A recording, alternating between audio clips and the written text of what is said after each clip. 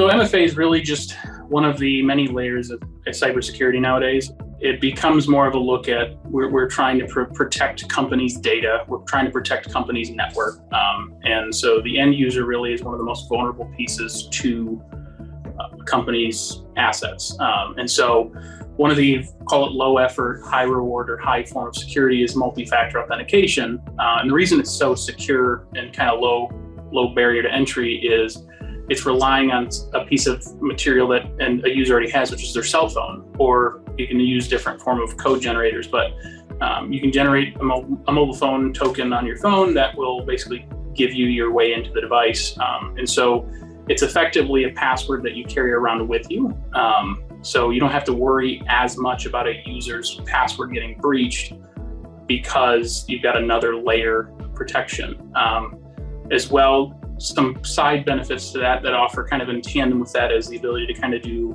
um, single sign-on, so you can leverage that same account for different applications. So you don't have to have employees remember as many passwords, and they can leverage their single sign-on as well as MFA and keep your company protected, your company data protected, without really having to get creative or add more complexity for the user to remember.